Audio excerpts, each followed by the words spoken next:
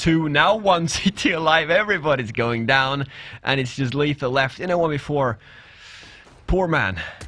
Hey, but Lethal does find some good shots there with the USP. Whoa! A triple for him as he goes for the quad to win this round for his team. Can he pull it off? Yes! Oh my- He freaking Oh, can! baby!